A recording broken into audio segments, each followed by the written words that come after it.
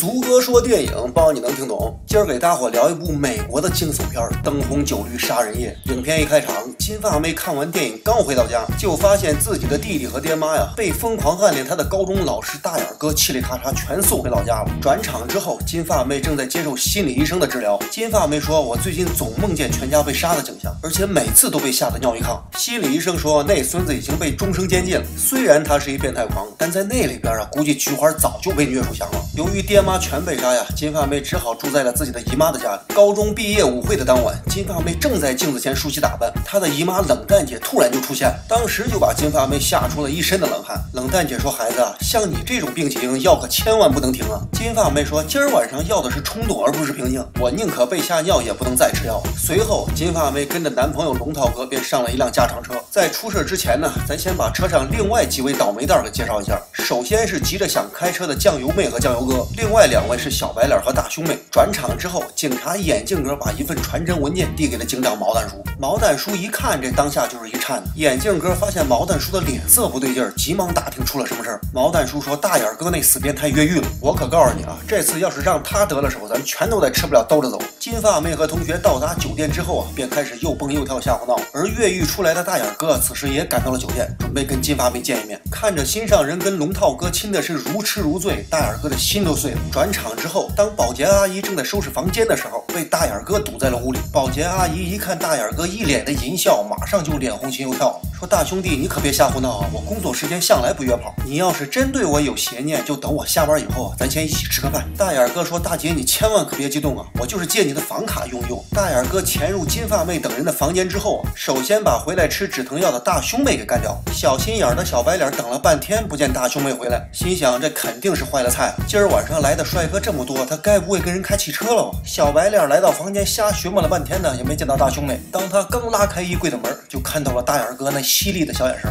小白脸当时就是一愣，心想还真让我给猜中了，在衣柜里都能瞎折腾，看来这真是玩了命了。大眼哥一看自己被发现了，那能干，立马扑过去就给小白脸来了一地咚，直接就把这倒霉孩子的戏份给杀了清了。而这个时候，毛蛋叔也带着手下来到了酒店，正在严密防范大眼哥的出现。当酱油妹和酱油哥正打算回房间开汽车的时候，刚巧在电梯门口啊遇见大眼哥。酱油妹说：“刚才电梯里那孙子我看着特面善，可就是想不起来是哪混蛋了。”酱油哥说：“别想那王八蛋，你看今夜多浪漫呢，咱抓紧时间干吧。”转场之后，毛蛋叔和手下眼镜哥发现了一辆失踪的汽车。打开后备箱之后啊，毛蛋叔看到司机已经挂掉。原来大眼哥就是利用这哥们儿的信用卡和证件呢，住进了酒店。当酱油哥已经兵临城下，将至壕边的时候，酱油妹突然把他给推翻了，说：“亲爱的，你听我说啊，刚才电梯里那孙子就是咱过去的老师大眼哥，我现在必须马上走，不行的话你自己先练练手吧。”当酱油妹一溜小跑，正打算跟金发妹报信儿的时候，大眼哥突然就出现。酱油妹一看就是一阵肝颤呢，急忙抱着头拼命的数算，可跑得了高峰，跑不了那英啊！酱油妹的戏份呢，很快就杀了清了。转场之后，当毛蛋叔带着人来到大眼哥的房间的时候，发现性感多情的保洁阿姨已经香消玉殒了。毛蛋叔一看，这当下就是一颤，急忙命手下对整个大楼进行疏散。当金发妹回房间取衣服的时候，遭遇到了大眼哥。金发妹一看，当时就吓尿了，说：“老师，你千万别冲动啊，不然笑校长可不答应。”大眼哥一听就是一愣，说：“马绿茶遇见宋经济，今儿我非得给你男朋友头上带点绿。”金发妹一听大眼哥要霸王硬上弓，当时就大吃了一惊。当金发妹顾头不顾腚的刚跑出去，就跟毛蛋叔不期而遇了。转场之后，眼镜哥护送着金发妹和龙套哥回到了家。毛蛋叔带人在酒店楼上楼下寻摸了个遍，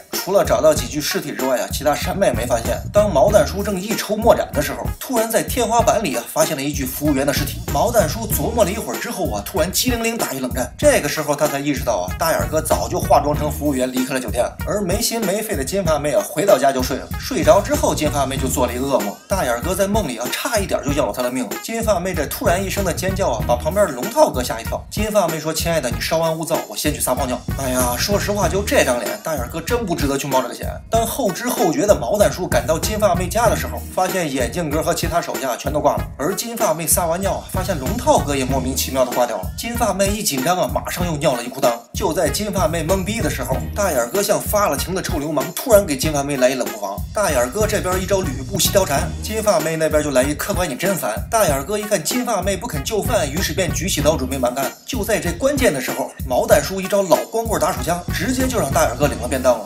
看完这整部影片呢，我们还是来首唐诗压压惊吧。教师队伍要整顿，别让禽兽往里混。如果遇见性骚扰，必须给丫打处分。